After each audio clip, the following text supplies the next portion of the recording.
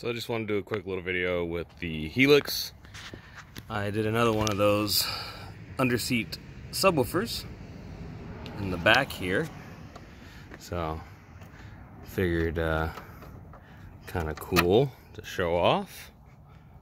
I'm gonna play uh, play a song. I don't know how good of a song it's gonna be for this video, but Money for all dollars.